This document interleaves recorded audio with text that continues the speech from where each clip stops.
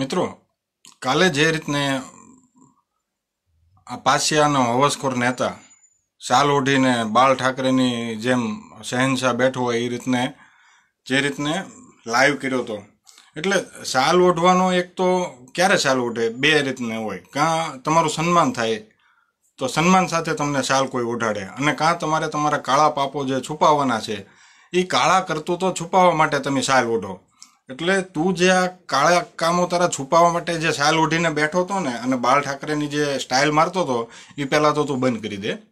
અને મિત્રો, કોઈ પણ આંદોલનનો ઇતિહાસ રહ્યો છે કે જ્યારે પણ કોઈ આંદોલન થાય, અને તમે જે રીતને કહેતા હો, પાછિયાઓ જેવો દાવો કરે છે કે આ અમારા હિસાબે મળ્યું છે, અને અમારી આ મૂળ માંગ પ્રમાણેની આ આખી સરકાર જે રીતને પગલાં લઈ રહી છે, તો એ પગલાં અમને આવકાર્ય છે. તો આંદોલનના ઇતિહાસ મુજબ આપણે હવે આ પાછિયાઓએ આ આંદોલન સંકેલી લેવું જોઈએ. અને સ્વીકારવું જોઈએ કે અમારી માંગ પૂરી થઈ ગઈ છે. તો આ આંદોલન સંકેલવા માટે હું આ પાછિયાઓને પહેલાં તો એક નમ્ર અપીલ કરું છું.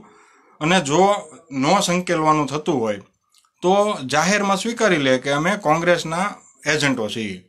એટલે રહી વાત આ પાછિયાઓ તમારી. કે તમારી જ્યાં વિચારવાની શક્તિ પૂરી થાય છે, ત્યાં તમારા બાપની વિચારવાનું શરૂ થાય છે. એટલે એ તમારા બાપ કોણ એ તમને ખ્યાલ જ હશે અને મારી બાજુમાં જ છે દિલ્હી, એટલે વધારે વિશેષ એમાં કંઈ કહેવાનું નથી, પણ પાછિયાઓ તમારા તો છે ને ઠેલાય નહીં જડે. કારણ કે જે રીતને આજે તમે જોયું કે ભાઈની નજરમાં ચડો, એટલે જે રીતને જયંતિભાઈનું વહીવટ થયો, એમ તમારા તો ક્યાંય અંશે નહીં મળે. એટલે માપે રહેજો સુમડીમાં રહીને કામ કરજો, ખોટા ડાયલીના ન થતા. અને સરકારના જે મહત્વપૂર્ણ નિર્ણય એવો છે, અને એ નિર્ણયને કઈ રીતને આગળ વધારેવો એને કાયદાકીય રીતેની માન્યતા કેમ આપવી, એ બાબતે તમે તમારા કોંગ્રેસના, જે તમારા આદરણીય રાહુલ ગાંધી છે, તમારા દસ જનપથની ગટરમાં તમે રોજ આળોટીને જે ભાષણો શરૂ કરો છો, એ નેતાઓને તમે પૂછશો અને પ્રેશર કરો કે આ રાજ્યસભામાં પણ આ ખરડો વ્યવસ્થિત રીતે પાસ કરાવવામાં સમર્થન આપે.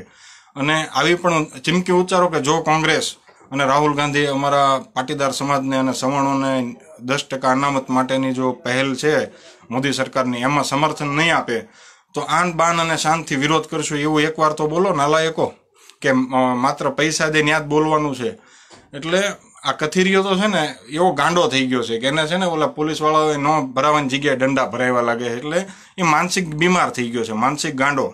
એટલે એને તો સર્ટિફાઈડ ગાંડા તરીકેનું પ્રમાણપત્ર થોડાક દિવસમાં મળી જાય. પણ મિત્રો, મૂળ વાત એ છે કે સમાજની જે, સવર્ણોને જે પ્રશ્નો હતા, સવર્ણોમાં જે ગરીબ સવર્ણો છે એ લોકોને ન્યાય મળે, એ લોકોને સંવિધાનિક અધિકાર મળે એવું આ મોદી સરકારનું એક સરાહનીય પગલું છે. અને એ પગલું પણ બહુ લેટ આવ્યું. જો આ છ મહિના પહેલાં આવ્યું હોત ને, તો આ ચાર રાજ્યમાં જે સફાયો થઈ ગયો એ ન થયો હોત. ને હજી પણ સરકારને વિનંતી કે તમે આ બિલને ચૂંટણી પહેલાં જો લાગુ કરી દેશો અને લાભ આપશો સવાણોને, તો પચીસ સીટ વધીને આવશે.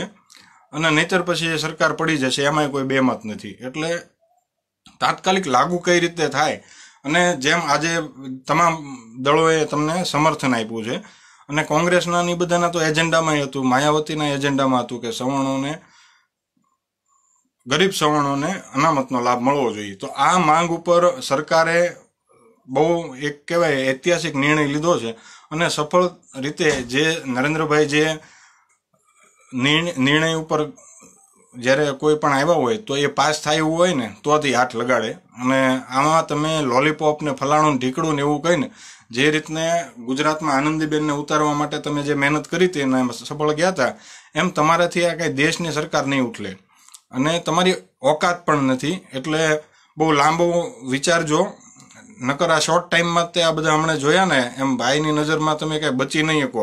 અને ભાનુશાળી જેવો ભાનુશાળી વયો જતો હોય તો આ કથિરિયા ફતિરિયા જેવા તો બે મિનિટનું કામ છે.